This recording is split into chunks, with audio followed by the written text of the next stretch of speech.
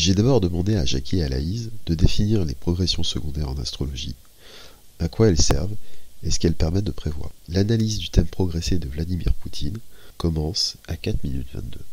Question, est-ce que tu peux expliquer en 8 minutes qu'est-ce qu'une progression?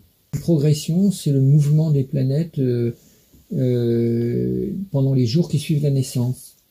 C'est-à-dire, on s'est aperçu, comme le Soleil fait le tour du zodiaque en un an, et que nous, apparemment, euh, le Soleil fait le tour de la Terre en, une journée, il y a une correspondance, euh, il y a une analogie entre le, un jour égal à un an. On dit, c'est quoi le cycle du Soleil? C'est un an, mais apparemment, c'est une journée. Donc, cette, apparence euh, crée une espèce d'octave, entre, comme entre le Do aigu et le Do, et le do plus grave, une espèce d'octave qui fait que c'est la même note, euh, tu connais avec les harmoniques, tu fais la musique, c'est la même note, mais euh, un cran au-dessus, si tu veux. Donc, euh, on calcule en général les, trois premiers mois de la naissance, 90 jours, donc ça fait, on dit, ces 90 jours, c'est les 90 ans d'une vie. Alors évidemment, tu peux avoir, bah d'ailleurs, on peut trouver comme ça Et alors, dans le cerveau, dans la fontanelle encore ouverte du gamin, qui vient de naître, s'inscrit d'abord le thème astral, quoi, paf, le, cosmos lui rentre dans la tête parce qu'il sort du cosmos vibratoire de l'aura de sa mère, donc il se prend l'aura du cosmos en pleine gueule, on appelle ça le thème natal, il, le, il le choisit d'ailleurs pour sortir souvent, si on fait pas de césarienne des systèmes trop artificiels, il, a, il y a quand même une chance que ce choix soit assez judicieux, pour, pour l'âme qui vient en tout cas, et, et, et après, euh, pendant les trois premiers mois, il va se prendre euh, jour après jour un programme, une espèce de, téléchargement d'un programme qui va durer euh, trois mois. Ça, on va dire, ça se referme avec, peu importe ça se referme pas, même si ça se referme au bout de six mois, on n'a jamais vu quelqu'un qui, qui vivait euh, 6 fois 3, 18, 180 ans. Donc, euh, si tu veux, en gros, on, on, a pu remarquer que les, les, planètes progressées sur le thème natal indiquent des, étapes très importantes du vécu. Surtout si c'est des planètes euh, classiques. Quoi. Si, par exemple, les progressions du Soleil, les progressions de la Lune sont très intéressantes. La Lune fait des petits tours assez vite. En, en, en, 28, en, 20, en 29 jours, elle, a fait, elle a fait une lunaison complète. Donc, on va dire qu'on a des périodes qui durent 29 ans et qui sont des grandes phases de vie, comme la Lune fait des phases. Et on peut et, en, Rudyard s'est beaucoup servi de ça, de la lune progressée, pour dire, bon voilà, dans une vie, tu as environ deux ou trois phases de vie qui vont être des, euh, un germe, nouvelle lune, euh, une, mise en place du germe euh, premier carré, pleine lune, épanouissement total du, germe, donc floraison, et donc mise en place de la, de, la, de la conscience au maximum de ses capacités, puis euh, mise au service de ça au, au, niveau des autres, quand la lune se met à redescendre au descendant, dernier quartier, on, remet tout en question pour essayer de rendre encore plus euh, utile aux autres ce qu'on a créé. Et puis euh, vers la nouvelle lune, on, va vers, euh, la, mort de ce cycle-là. Donc là, euh, Poutine, la lune, là où il est par rapport au soleil, il va, vers la fin, il va vers la fin de, de ce cycle-là. C'est-à-dire qu'en fait, son énergie est en train de descendre. Si tu as une énergie qui est en train de descendre comme, ça, que tu as 30 ans, il euh, n'y a pas de problème. Tu vas te sentir fatigué, un peu déprimé, mais tu vas redémarrer. Si tu as 70 ans ou 75 ans, évidemment, hein, euh, derrière le corps il n'est pas forcément ok pour redémarrer à fond.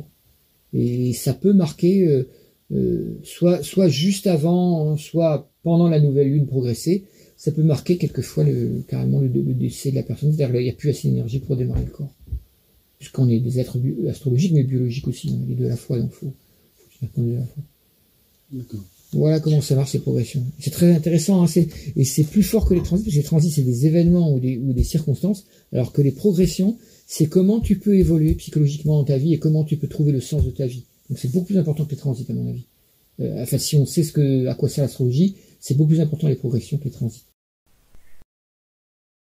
Pour voir le résultat que ça en profondeur sur Poutine, il faudrait faire la, la, la, progression en comptant, en comptant l'âge qu'il a à l'heure où, où, ça a lieu. 53, je crois. Il a donc 70 ans, c'est ça? 69 ans il faut compter sextile ça et regarder où, ça tombe en rajoutant 70 ans à chaque fois. Et on peut avoir, euh, ouais, tu vois par exemple euh, le milieu du ciel de Poutine, si on rajoute euh, 70 ans, on tombe sur 10, 18 degrés, on tombe sur sa part du monde, mais c'est dans un an, donc Il y a, quelque chose, il y a, des trucs comme ça qu'il faut rechercher. Mon avis, c'est, une année forte pour lui, mais comme toutes les souffrances, comme dit le il va, il va se prendre, je pense qu'il va se prendre, il aura toute sa vie dans la gueule. Une part du monde a déjà passé. On va voir où est-ce que son soleil, son soleil, ouais, donc ce soleil arrive sur Mars presque, mais c'est pas encore le cas. L'ascendant est passé, donc le milieu du ciel, c'est 26 exactement. Le, on, aurait pu le deviner presque au niveau euh, astrologique si on avait fait cette étude-là avant, parce qu'on voit, euh, le descendant qui passe sur Orcus natal, donc ça c'est signe d'une très grande agressivité, une négativité très très grande. Le natal est dans, est dans le ciel, dans le natal. Euh, le, milieu du ciel, ouais, c'est ce que je me doutais. Le milieu du ciel, tu vois, je m'en doutais. Bah, il est, il est, il est, il est passé euh, il y a un an à peu près. Il est encore en orbe de la part du monde natal. Donc c'est, le but de son âme, quoi. C'est cette, cette conquête. C'est un grand concurrent. Il se voit comme un concurrent. Donc le but de son âme, c'est moi, je suis le concurrent, je suis l'homme fort. Et le milieu du ciel arrive là-dessus. Bon, bah voilà, tu vas prouver que tu es l'homme fort. Il y a, il y a, euh, il y a l'amour euh, absolu qui est, au fond du ciel, ce qui veut dire que il est, il est, il se voit en même temps comme, euh, comme porteur d'un, d'un, amour profond de, de, de, quoi, bah rétrograde du passé quoi, du passé de la Russie. Donc c'est, au nom de cet amour qu'il va, qu'il est prêt à tuer femme et enfant. Comme quoi, faut se méfier du mot amour. Hein. c'est, c'est plus facile à dire qu'à faire. Enfin qu'à qu vivre. Faire l'amour, c'est dire autre chose. Jupiter est, déjà passé sur le descendant. Donc euh, sa phase de Jupiter Bacchus est, déjà Bacchus se rapproche du descendant. Mais enfin tout ça, on peut pas trop savoir si son thème est exact. Il a été corrigé, je crois. Quand même. Et la Lune qui est en Sagittaire. Ouais, donc cet rapprochement le soleil, on aurait pu penser qu'il fait la guerre quand le soleil arrive sur Mars, ça va peut-être lui attendre d'ailleurs trois ans que le soleil arrive sur Mars, mais son ascendant étant sur, euh, sur la fin sagittaire, qui est, qui est le, si on fait les deux, les deux ensemble, euh, le, mi-point de soleil ascendant, il est sur 26,5, euh, sagittaire exactement sur son Mars natal. Donc on voit qu'il y a une, qui est, qui est à peu près le centre galactique, hein, le centre galactique de, de toute l'humanité, il est à cet endroit-là. Donc c'est quelqu'un qui vient à, si, si effectivement c'est c'est une manifestation incarnée de, l'antéchrist, puisqu'on peut dire qu'il y en a eu trois, qu'il n'y en aura peut-être que trois, c'est-à-dire euh, Napoléon le premier, euh, Hitler le deuxième. Alors c'est pas pas forcément des, un personnage hein, quand on dit Hitler et évidemment il faut prendre Mussolini avec, il faut prendre je sais pas, Hirohito, voilà, il faut prendre ceux qui, voilà, ceux qui allaient avec, à l'époque, qui ont soutenu ça, quoi. Là, c'est pareil, entre Xi Jinping et, et, puis euh, Poutine, il y a, il y a un lien fort. Enfin, c'est lui qui, qui, qui, déclenche le truc, c'est lui qui vient en premier. Après, les dominos vont tomber les uns après les autres, peut-être, mais c'est pas évident, quoi. Euh, si, si réussit son coup, euh, en tant, en tant que force antéchristique qui, qui, démolit l'ordre pour, euh, pour installer un désordre qui favorise le, pouvoir fasciste absolu, puisqu'il est, quand même une décence fasciste. On voit très bien dans l'émission, la, euh, la deuxième partie de la, grande table du 9 mars, là, euh, sur France Culture. C'est un, Serbe, je sais pas, un Slovène qui parle, je, crois qu'il est Slovène. Et il analyse très très bien ça.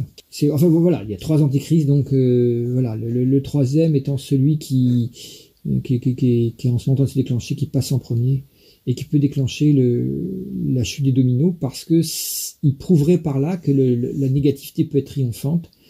Et du coup pourquoi pas l'utiliser à nouveau? Et c'est déjà ce qu'il avait fait en, Syrie.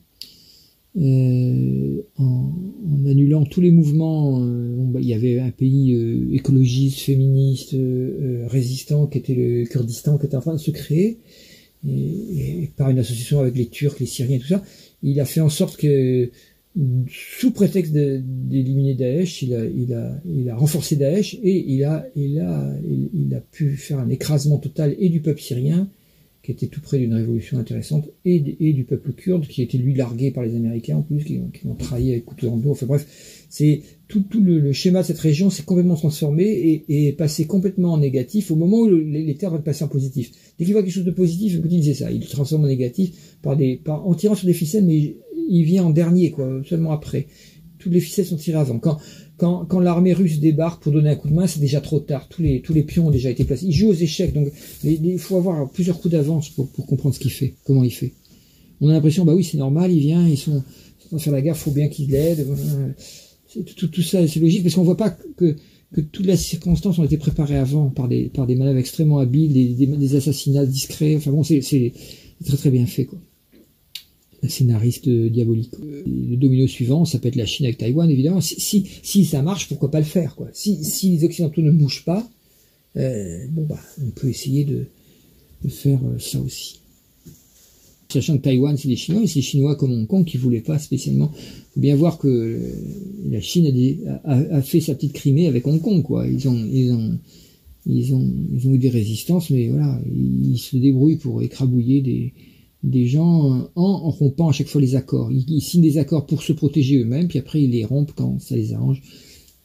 C'est très difficile d'aller vers la paix avec des gens qui font ça, avec des accords. Ça rappelle les accords de Munich avec Daladier qui descend de l'avion, puis les gens qui l'acclament, ouais, on va avoir la paix avec Hitler, super, super, et puis il sort de l'avion, il dit, ah les cons, il sait très bien intérieurement que c'est qu'un répit, et puis que si on s'arme pas, ben, on va avoir une deuxième guerre mondiale, il le sait, et, mais en fait, euh, les gens sont tellement contents que finalement, même les gouvernements finissent par croire, bon non, c'est même pas la peine de s'armer plus que ça, ça va pas avoir lieu.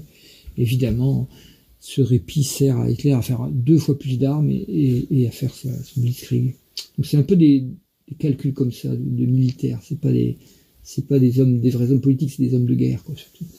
Comme Tamerlan, comme tout ça, ça, ça remonte à loin il y a vraiment Mars qui est exactement sur le nord, ce qui indique que voilà, c'est l'heure de faire la guerre. Donc c'est indiqué par deux endroits, l'heure de faire la guerre, par le, mi-point soleil, soleil ascendant qu'on a le droit de faire parce qu'ils sont très proches l'un de l'autre, fin Sagittaire, qui est en plein euh, sur, le Mars natal, et le Mars du ciel qui est en plein sur ton nord natal. Donc on voit le moment de, de s'activer, d'accomplir de, son but, c'est-à-dire cette, euh, cette idéologie euh, euh d'un d'un Uranus euh, qui est, qui est là-haut en, en, cancer, c'est-à-dire l'idéologie de, de, nos pères, l'idéologie de, de, nos, de nos aïeux. C'est, ça qu'il veut accomplir euh, mentalement. Quoi. Enfin, c'est, cette idée-là qu'il accomplit mentalement par ce Mars. Il faut, faut déclencher ça, il faut déclencher les possibilités concrètes de ce, de ce retour au grand, grand empire de nos aïeux.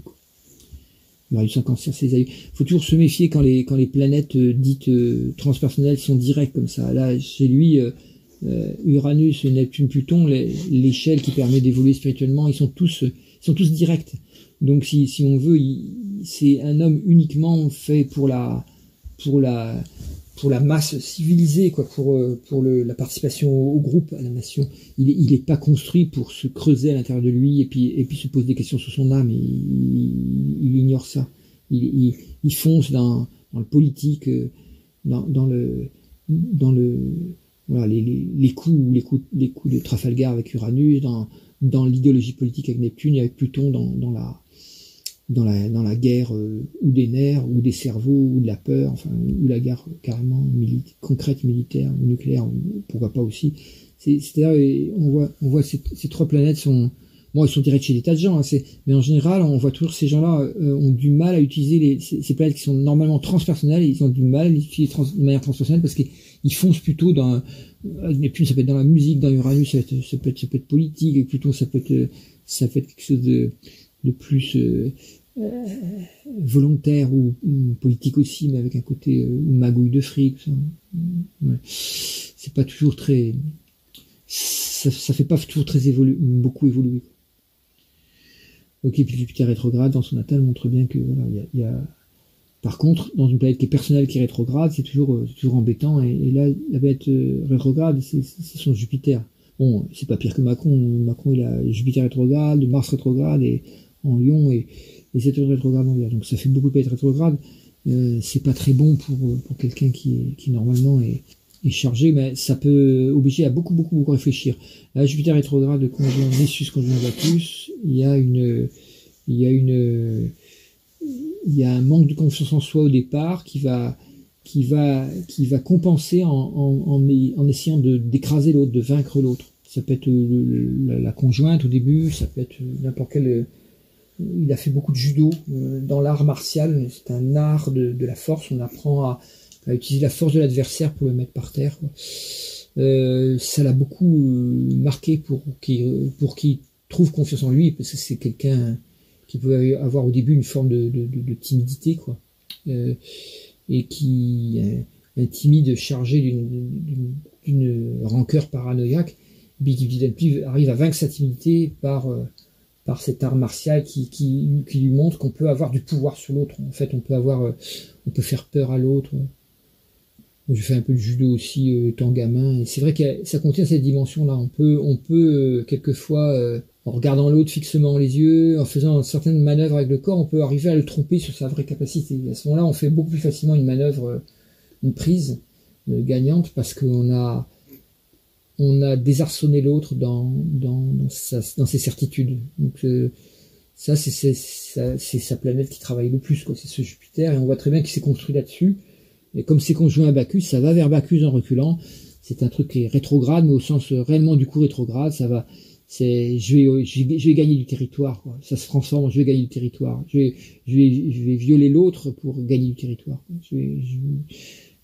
Ça a commencé au KGB avec euh, le, viol concret de la conscience de l'autre pour, pour moi gagner des galons, devenir chef de, la police secrète, et puis voilà. ce qui a pu le motiver, quoi. Mm. Puis alors son énorme conjonction euh, Soleil, Ixion, Saturne, Neptune, Mercure, tout ça en balance, euh, en maison 11 montre l'intérêt énorme pour le pour la politique. C'est un c'est un c'est un politologue extrêmement euh, doué quoi, puisque puisque toutes les planètes sont très très serrées et, souvent, quand il y a une grosse, grosse conjonction comme ça, on voit, ça, ça, peut être des êtres qui sont pas du tout anodins. Là, on voit l'art du politique est capable à chaque fois de se, alors de se refaire élire aussi par une forme de, charme balance. Hein. Balance en scorpion, je rappelle que euh, Mitterrand c'était scorpion en balance. C'est des signes très politiques, la balance scorpion. C'est des, des, gens qui peuvent être euh, avec le scorpion dissimulé, puis avec la balance assez charmeur. Donc là, il a un côté. Euh, c'est l'inverse de Mitterrand, qui est qui est là, disons que il veut s'engager pour son pays, quoi, Saturne Neptune, pour euh, un idéal de son pays, Saturne Neptune en balance. Mais la, méthode avec la Scorpion est, assez dure, hein, assez euh, cachée, secrète et dure. Voilà. Et puis elle est basée sur ce Pluton en Lion là-haut, le maître d'ascendant, c'est quand même Pluton en Lion, ce qui fait qu'on voit bien, qui c'est-à-dire qu'en fait, c'est toujours la volonté de pouvoir. Il a la volonté de pouvoir se manifester à la fois par le Pluton maître d'ascendant et par le Bacchus euh, au descendant. Euh, dès le départ, on voit un thème comme ça, on dit, oulala, là là, attention, cette, personne-là euh, peut tourner très mal, un hein, chef de mafia, chef de bande. alors, s'il s'inscrit dans, évidemment dans, dans, le cadre, avec Saturne, soit avec Saturne, dans le cadre de l'ordre, à ce moment-là, il devient dans une mafia euh, officiel, donc euh, police, euh, service secret. On voit très bien, sa voix a été tracée par par son besoin d'être d'être en accord en même temps, d'humilier par le pouvoir, mais en, étant du côté de, l'ordre, parce que son, son soleil va vers Saturne Neptune, vers, vers l'idée d'un ordre suprême.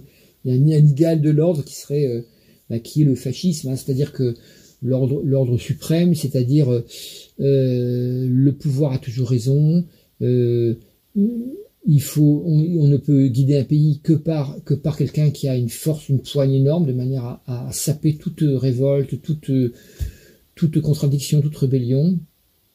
Et, euh, et, et, grâce à cet homme providentiel, on peut créer euh, une unité du peuple autour autour Führer. C'est le même principe, tu vois. Ein Volk, ein Reich, ein Führer, un peuple, un, empire, et puis un un, conducteur de cet empire, un, guide de cet empire, un espèce de gourou. Alors dans ce cas-là, on dit un faux gourou, puisque les vrais gourous, ça existe, c'est plutôt positif.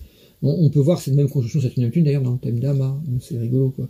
Euh, c'est un vrai gourou, donc quelqu'un qui amène, qui amène les gens vers la libération.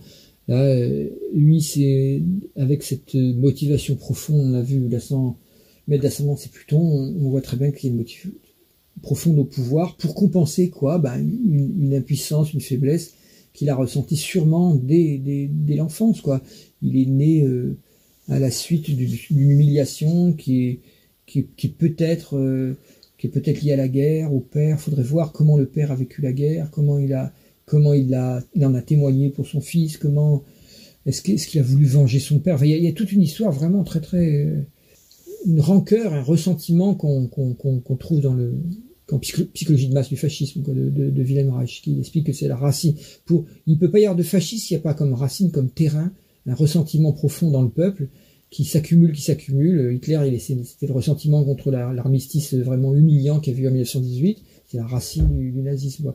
Et avec la, somme de ressentiment, il y a un, être plein de, de, voilà, de, bagou et, de, colère qui peut très bien devenir par, sa parole le point focal de ce ressentiment. Pour dire je, suis votre colère.